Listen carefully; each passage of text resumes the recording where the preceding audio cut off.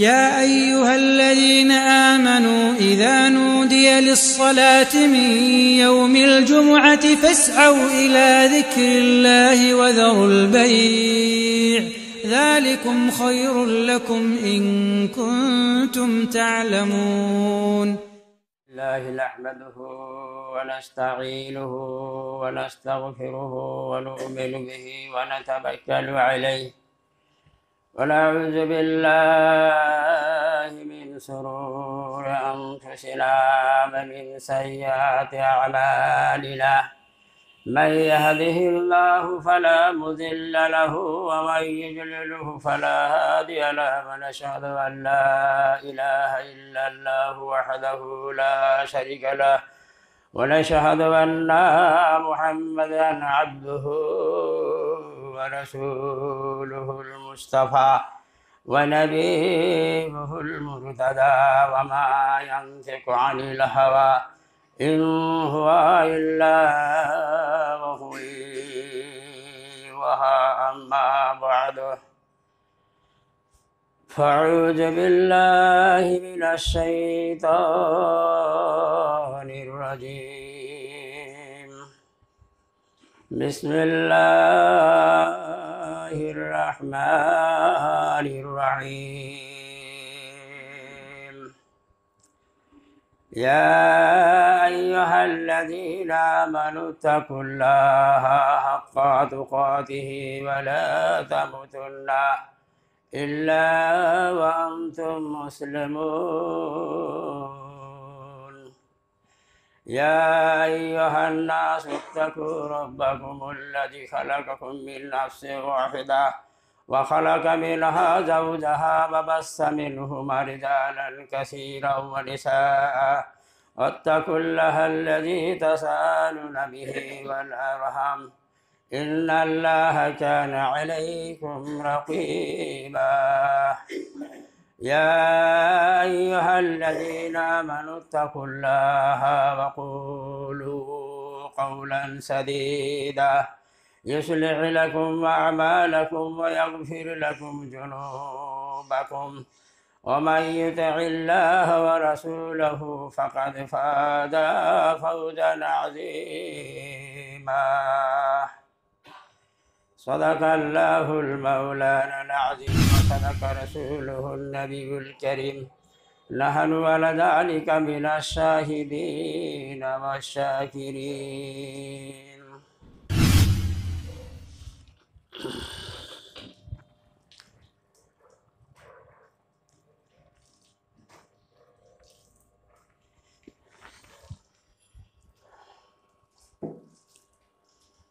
الحمد لله كفى وسلام على عباده الذين اصطفى أما بعد. فأعوذ بالله من الشيطان الرجيم.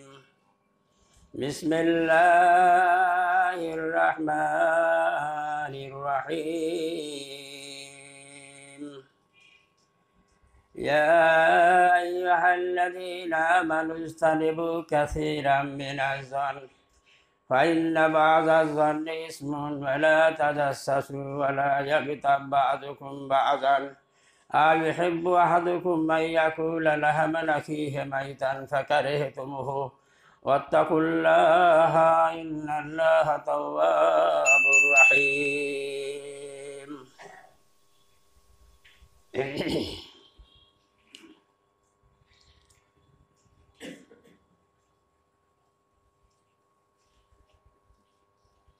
বয়োজ্যেষ্ঠ ভক্তি ভাজন ও শ্রদ্ধা ভাজন। ও বয় কনিষ্ঠ প্রীতি ও স্নেহ ভাজন। মোয়াজ্জাজি সামিন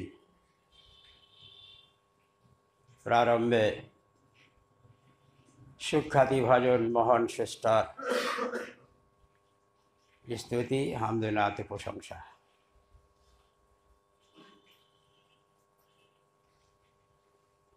যিনি আমাদের স্রষ্টা, যিনি সর্বশক্তিমান, যিনি আদি অন্ত প্রকাশ্য অগুপ্ত আল্লাহ মহাগ্রন্থ আল কোরআনে বলেন, মাইন তাউদ্দু নিয়ামাতাল্লাহি লা তুহসুহা বান্দা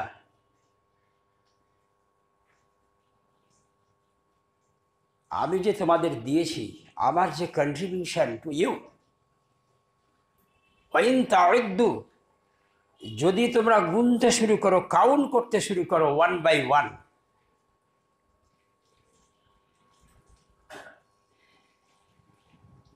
পৃথিবীতে যত মানব দানব জিন ইনসান আছে। আর পৃথিবীতে যত গাছপালা সমস্তকে কলম বানিয়ে আর পৃথিবীতে যত সমুদ্র, সাগর, মহাসাগর, নদী, নালা, খাল, বিল যা আছে সবকে কালি করে তোমরা যদি লিখতে শুরু করো,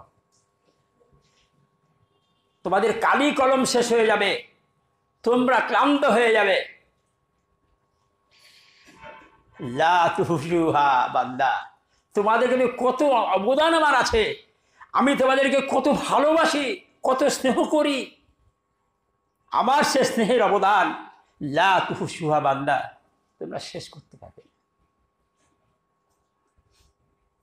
কিন্তু বড়ই দুঃখের বিষয়, আমরা বড়ই বেইমান আমরা বড়ই আনগ্রেটফুল, বড়ই অকৃতজ্ঞ।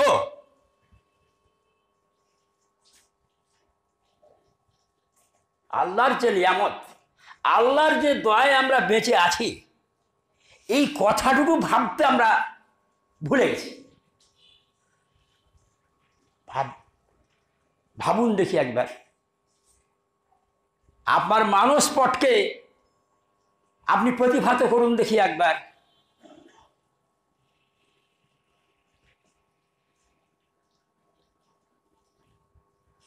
আল্লাহর মহিমা আমাদের সামনে কত বিদ্যমান।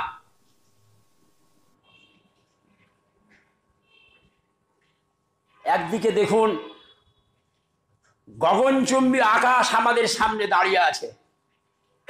যার শুরু নাই শেষ নাই,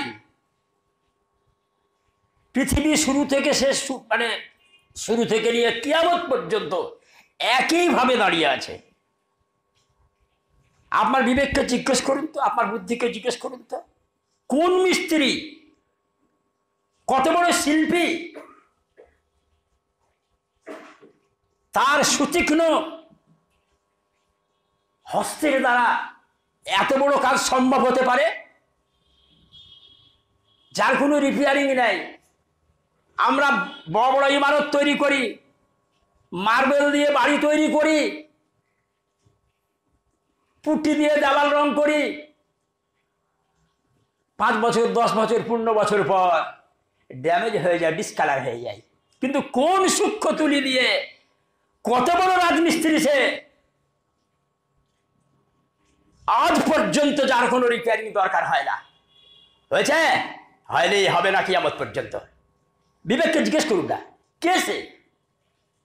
হুই হি হিজ অলমাইটি আল্লাহ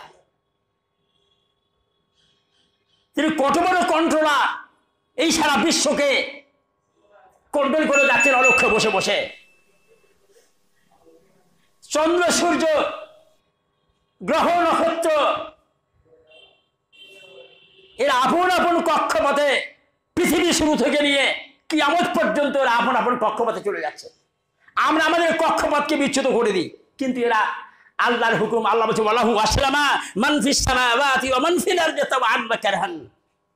পৃথিবীর প্রত্যেকটি জীব, প্রত্যেকটি জড় এবং জীব আল্লাহু আসলামা। এরা বলে আমাকে।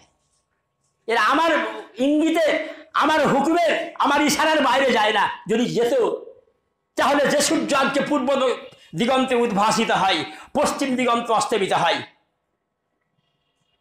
ও তো বলতে পারতো, আমি পারছি না, আল্লাহ তোমার হুকুম মানবো না। আমি পূর্ব উড়বো পশ্চিমে উঠবো কাল থেকে। বলেছে কোনোদিন? বলেনি। আল্লাহ আল্লাহু আসসালামা মানফিস সামাওয়াতি ওয়া মানফিল আরদি তাওআন ওয়া কারহান। পৃথিবীর প্রত্যেকটি জীব ইভেন আগুন আল্লাহকে মানে জানেন? প্রমাণ আছে কিছু? আছে প্রমাণ। আল্লাহর পিয়ার হাবিব হজরত ইসমাইল ইব্রাহিম আলাইহিস সালামকে যখন শয়তান নমরুদ তার গাত্তলা মেটার জন্যে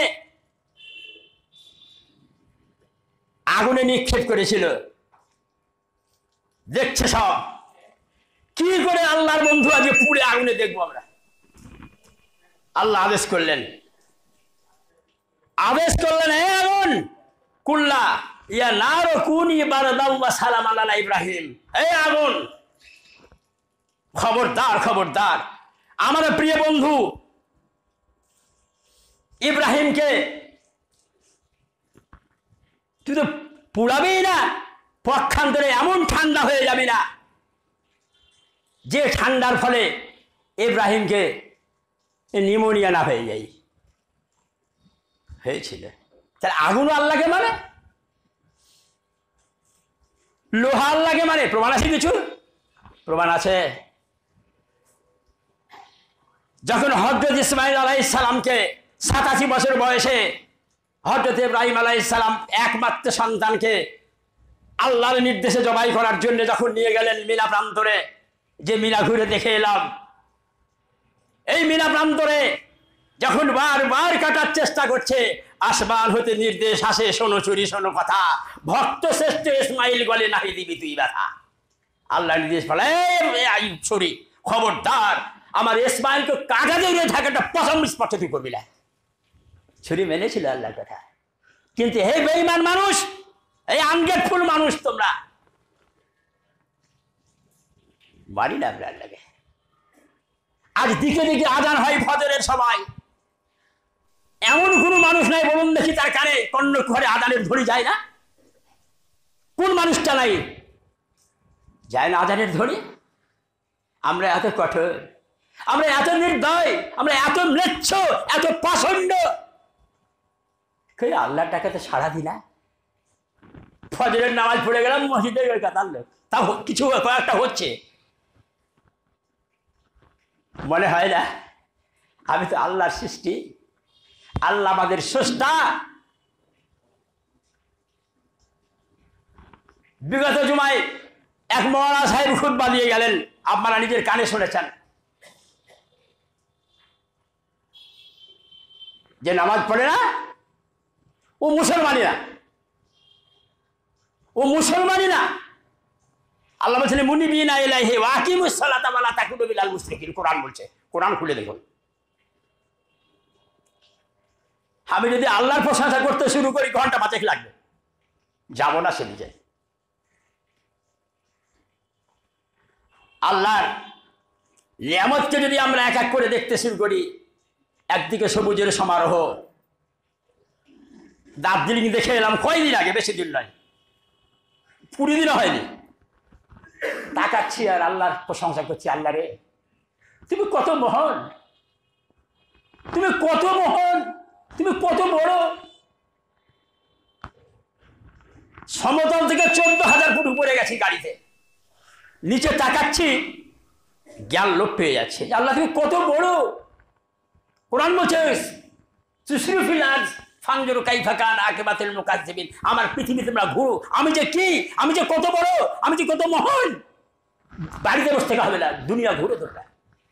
সে হাতের দিকে লক্ষ্য করে দেখে এলাম, আহা, তুমি কত বড়? দীঘার ধারে, সমুদ্রের ধারে বসে বসে দেখছি। লোক দীঘা দেখতে যাবে বসে বসে ওটাই দেখছে। আল্লাহর প্রসাদ আল্লাহ তুমি কত বড়? এই যে সমুদ্রের ঢেউ চলে আসছে। কোন সৃষ্টি? কোন সস্তা? কোন শক্তি অলক্ষ্যে বসে বসে এই বিশাল বিশাল ঢেউকে তুমি তৈরি করছ, পাঠাচ্ছ? ওটাই ভাবছি। ভাইরা আবার আরবে দেখে এলাম, সেখানে দেখছি বিশাল বিশাল পাহাড়, নগ্ন, কিচ্ছু নাই। আরবের পাহাড় একটু অন্য টাইপের কিচ্ছু না, একবারে নগ্ন। কোনো গাছপালা কিচ্ছু নাই, শুধু পাহাড় আর পাহাড়। বিশাল বিশাল পাহাড় কেটে রাস্তা তৈরি হয়েছে। এক আল্লাহর সৃষ্টি। থর মরুভূমি, বিশাল বিশাল সমুদ্র। কার সব? আল্লাহর নিমত। আল্লাহ বলছেন ভাই ইনতাউদ্দিনিয়ামাত আল্লাহ হুসুহা বান্দা, যদি আমার কন্ট্রিবিউশন তোরা যদি গুনতে শুরু করো, গুনতে পারবে না। তোমাদের জীবন শেষ হয়ে যাবে, পারবে না। আল্লাহর লক্ষ লক্ষ প্রশংসার পরে তদীয় নবী মহাত্মা মহাপুরুষ তাকদারি Medina Ahmad Mustafa Muhammad Mustafa সাল্লাহ আলী সাল্লামের ফত সহগে দরুদ শান্তির দরবতীর্ণ হোক আমিন।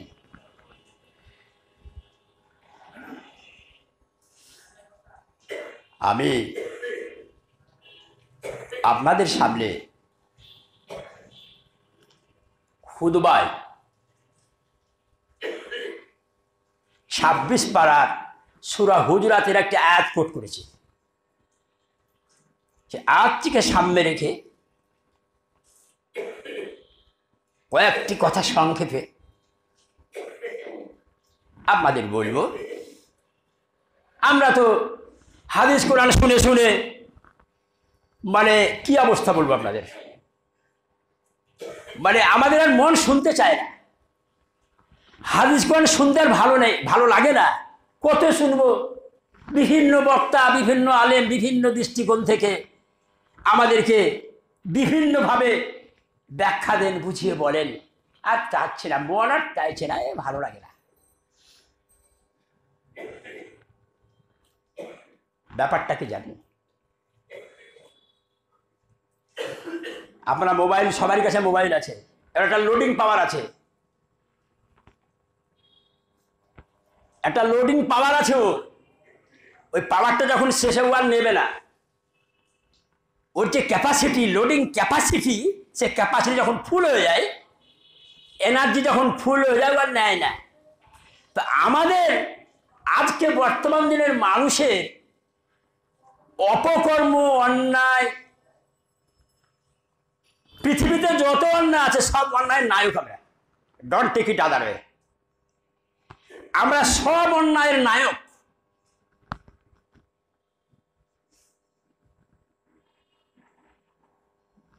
আমাদের ওর ক্যাপাসিটি নাই আউট অফ ক্যাপাসিটি হয়ে গেছে। অন্যায় আমাদের মধ্যে এত বেশি বাসা বেঁধেছে, অন্যায়ের ফলে আর যেখানে অন্যায় বাসা বাঁধবে, সেখানে ন্যায় থাকবে না।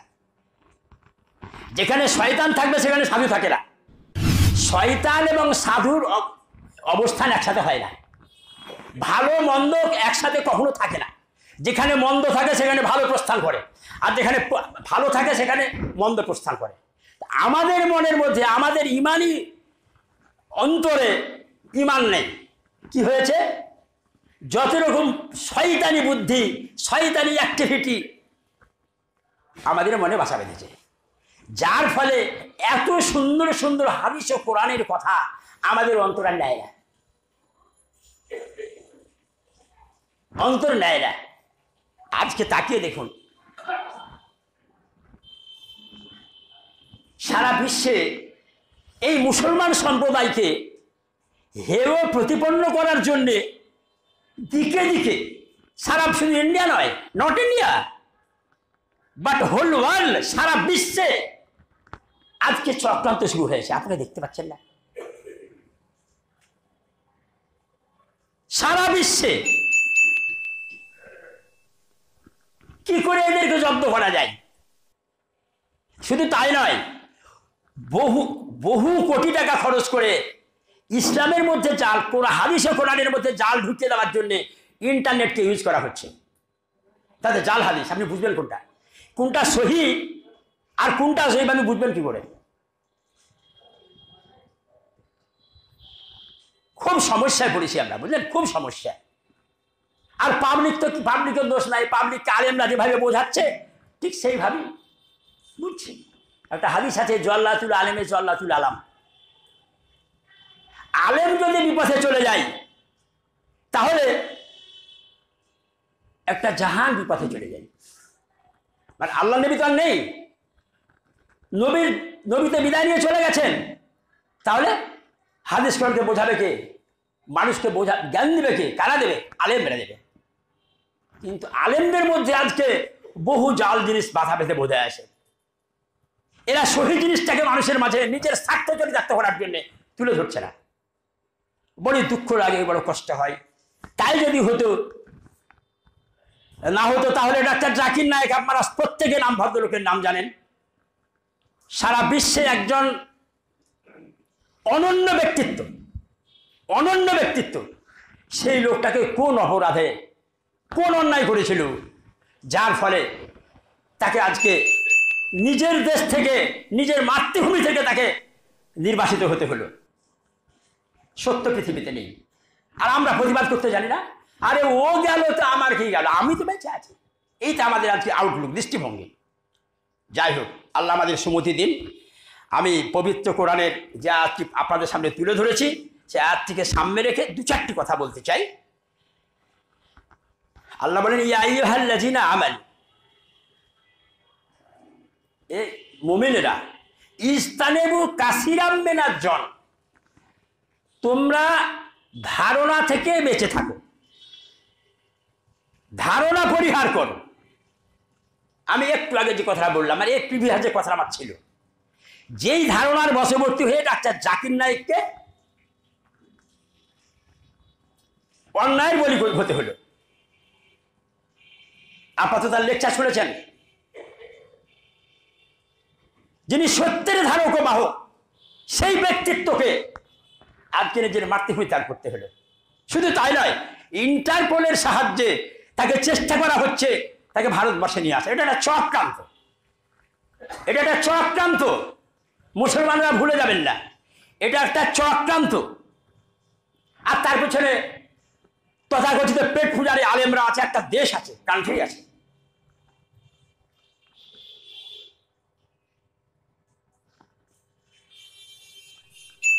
তোমরা ধারণা পরিহার করো, আর ধারণার বশবর্তী হয়ে লক্ষ লক্ষ মুসলমানকে জেলে বসতে হচ্ছে। আপনার পেপারে দেখছেন, দেখবেন।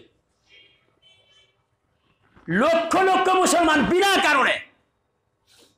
তুমি মুসলমান, তোমার দাড়ি আছে, তোমার টুপি আছে, তোমার মাথায় রুমাল go to jail because you are a Muslim অপরাধ একটাই। আল্লাহ বলেন, তোমরা ধারণা পরিহার করো। কেননা ফাইন্না বাজ আসান ইসমুন অধিকাংশ ধারণা হলো পাপ। আমি ব্যাখ্যা করতে চাচ্ছি না, মাত্র তিন মিনিট সময় আছে। এই হাদিসের ব্যাখ্যা করতে গেলে ঘণ্টা পাঁচেকের দরকার। লম্বা চড়া হাদিস আছে। আর আল্লাহ কি বলছেন? অলা তাজার শাশু পরক্ষণে বলছেন, ওয়ালা তাজার শাশু তোমরা লোকের দোষ টেনে টেনে বের করো না। এ কেমন কথা হলো? একটা ছোট্ট আপনাদেরকে ইতিহাস শোনাই। সময় যদিও অল্প। মুসলিম জাহানের দ্বিতীয় খলিফা হজরত উমারে ফারুক রাজি আল্লাহ আনহু। আমরা জানি হজরত উমার ফারুক রাজি আল্লাহ আনহু রাত্রিবেলা ঘুমাতেন না। কি করতেন? তিনি সারাদিন রাজকার্যে ব্যস্ত থাকতেন যখন রাত্রির অন্ধকার ঘনিয়ে আসত, তখন তিনি ঘুরে বেড়াতেন। কোন প্রজার বাড়িতে খাবার নেই, কোন প্রজার বাড়িতে অন্ন নেই বস্ত্র নাই, কোন প্রজার বাড়িতে কি কিনা সমস্ত কিছু তিনি A to Z ins and outs তিনি খোঁজ রাখতেন। একদিন ঘুরছেন, হয়তো তোমার ফারুক রাজি আল্লাহ আনহো একটা বাড়ি থেকে বাদনার শব্দ আসে, বাদনা বাদনা বাজছে। তো দেখলেন দরজা বন্ধ। হয়তো তোমার লাফিয়ে টোপকে, প্রাচীর টোপকে বাড়িতে ঢুকলেন। ঢুকে দেখছেন গৃহস্বামী মদ্যপানের অত মদ খাচ্ছে আর পাশে একটা রেডিও বাজছে। হজ্জ তুমারের হাতে সবসময় আপনারা, আমরা জানি শাসনের বেদ থাকতো। শাসনের বেদ চালিয়ে উনি মারতে যাচ্ছেন। এই বেয়াদব কম্বাক, তুমি আমার রাজত্বে তুমি মদ খাচ্ছ গান শুনছো? সেই লোকটি বলে হজুর থামবেন। আপনি একটু ওয়েট করুন, আমার একটা কথার উত্তর আপনাকে দিতে হবে। কথার উত্তর দিয়ে আপনি আমাকে মারুন, আমার আপত্তি নেই। বলো। লাত আকরামুল কোরআন, আপনি কি কোরআন পড়েন নাই? সেই লোকটি বলছে, হয়তো তোমাকে কোরআন কি বলেনি? ওলা তাজা শাশু মানুষের দোষ টেনে টেনে বের করতে যেও না। আমি মদ খাচ্ছিলাম, দরজা বন্ধ করে, তার রুদ্ধ দ্বারে গান শুনছিলাম বাড়ির ভিতরে, আমি তো ওপেন দরজা ওপেন করে গান শুনিনি। আপনি মুসলিম জাহানের খলিফা হয়ে কেন আপনি আমার দরজা টুকতে বাড়ির ঘরের মধ্যে ঢুকলেন? আগে উত্তর দিন। হয়তো তোমার ফারুক রাজি আল্লাহ আনহো, তার আক্কেল গুরু হয়ে গেল থ মরে গেলেন। তাই তো? আমি তো মহাভুল করেছি। কোরআন বলছে বলা তাদের শাশু মানুষের দোষকে টেনে টেনে বের করো না। হাদিস বলছে, মান সাতারা মুসলিম মান সাতার আল্লাহ কিয়ামা। তুমি যদি তোমার কোনো ভাইয়ের, কোনো আত্মীয়ের, কোনো গ্রামবাসীর কোনো অপরাধকে যদি গোপন করে দাও, কাল কি কিয়ামতের কোটে আমি অলরেডি আল্লাহ বলছি, তোমার লক্ষ লক্ষ দোষকে আমি চাপা দিয়ে তোমাকে জান্নাতে দিয়ে দেবো। আছি আমরা তো? এই কাজ করি তো? কুজনে কুজস করে, সুজস ঢাকিয়া, আর সুজনে সুরব করে কুরব নাসিয়া কবি ভাষা। তাহলে হজরত উমর ফারুক রাজি আল্লাহ আনহর মতো ইসলাম মুসলিম জাহারের দ্বিতীয় খলিফা এবং জলিল কাদের একজন খোলাফাই রাশেদিন। তিনি ভুল স্বীকার করলেন, ভাই, আমার ভুল হয়েছে, আমি তো বুঝতে পারিনি। আপনি এটা দেখছেন, আমি বাড়ির মধ্যে মদ খাচ্ছি। আমি তো ওপেন খাইনি। দেশে এই লোকটি আবার তোবা করলেন। যে ভাই, আমি জীবনে আর কোনোদিন মদ চাষ করব না, কোনোদিন গান শুনব না। হজরত বাবুর আমার ভুল হয়েছে, আমিও ঠিক আছে, আমি এরকম কাজ আমি একটু আর করব না।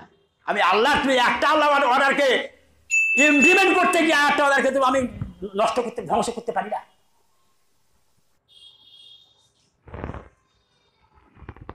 ভাইরা আবার ইসলাম খুব সূক্ষ্ম জিনিস। বিরাট বড় মজমুন ছিল। সে মজমুনের সামান্য একটা কথা বলে আমাকে শেষ করতে হচ্ছে। বিশাল বড় মজমুন। আমার এই বক্তব্য ছিল। খুদবার মাধ্যমে সামান্য কুড়ি পঁচিশ মিনিটের গল্প। কি বলব বলুন, আর কি রাখবে কাজেই আপনাদের কাছে আমার বিদায় বেলায় একটা অনুরোধ দেখে যাচ্ছি ভাইরা। দুনিয়া খুব করলেন। দুনিয়া করুন আপনারা। আমার আপত্তি নেই, দুনিয়া করুন। কেননা, লা রুহুবানিয়াতা ফির ইসলাম। ইসলামে বই রাখব নেই। আপনি যদি ঘর সংসার ছেড়ে দিয়ে মাঠে গিয়ে আল্লাহ বিল্লাহ করেন, ইসলাম সেটাকে সাপোর্ট করে না। ইসলাম বলছে, তোমার ধর্ম হলো কর্মময়। কর্মময় ধর্ম। আল্লাহ নবী বিয়ে করেছিলেন। আল্লাহ নবী যুদ্ধ করেছেন। আল্লাহ নবী সারা তাহাজুদ নামাজ পড়েছেন হাতটা তামার নামাজ কাদামাই হাতে শব্দ এসছে, নবীর পা ফুলে মোটা হয়ে গেছে। স্ত্রীর কাছেও থেকেছেন, সংসারও করেছেন, অতিথির সেবাও করেছেন কাফের পায়খানাও সাফ করে দিয়েছেন, আবার প্রয়োজন বোধে তরবারি ধরেছেন। নবীর ইতিহাস পড়ে দেখুন। আমি যুবক ভাইদের কাছে অনুরোধ রাখব, ভাইরা, তোমরা যারা কলেজের ছাত্র আছো ইসলামী, ইসলামকে স্টাডি করো। ইন্টারনেটে দেখতে পাবে শুধু আল্লাহ নবীর জীবনী। ইসলামের পরিপূর্ণ রূপটা তোমরা পেয়ে যাবে। ওখান থেকে ইসলামকে বুঝতে শেখো, পড়তে শেখো, জানতে শেখো। নিজের জীবন তৈরি করো। আসুন, আমরা কোরআন পড়ি। কোরআনের মানে বুঝি, জীবন গড়ি। এই বক্তব্য রেখে আমি আমার নাতি দীর্ঘ ভাষণের পরিসমাপ্তি ঘটালাম। অমা আলাইনা ইল্লাল বারাক اللهم صل على محمد وعلى آل محمد كما صليت على إبراهيم وعلى آل إبراهيم إنك حميد مجيد. اللهم بارك على محمد وعلى آل محمد كما باركت على إبراهيم وعلى آل إبراهيم إنك حميد مجيد. إن الله يأمركم بالعدل والإحسان وإيتاء ذي القربى ولينهى عن الفحشاء والمنكر والبغي يعظكم لعلكم تذكرون. واذكروا الله يذكركم ولذكر الله تعالى نفسي بنور من فؤادي يا رب العباد. وانتشت روحي وصار الدمع يجري